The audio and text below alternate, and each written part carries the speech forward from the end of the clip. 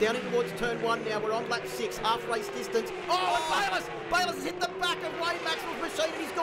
at turn one. There's no faster place to crash at Phillip Island.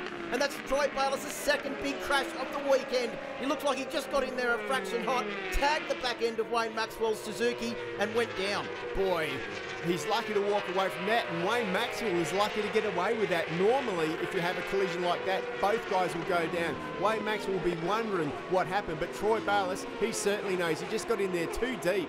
And um, I, I, reckon if Maxwell wasn't there, he would have made it. But uh, he just misjudged a little bit. Let's have another look, Phil. He, he dives in. He's got good corner speed, just a bit close to the back wheel there. If he was a, an inch or two over, he would have made it. And he tried to go around the outside by the look of that.